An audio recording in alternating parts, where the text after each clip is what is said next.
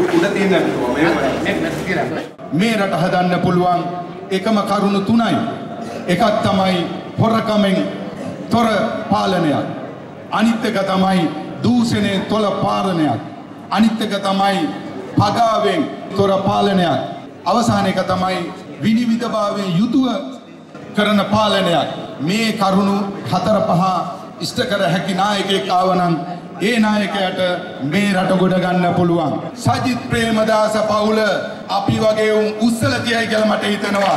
මම මේ කර්තව්‍ය ඔබතුමල්ලාට ඉෂ්ට කරනවා. අපි තරහයි කියලා කී දෙනෙක් එක්ක ආයි යාළු වෙලා තියෙනවා. ඒ හින්දා ওই තරහයි කියන එක එහෙම වචනයකුත් නෙමෙයි.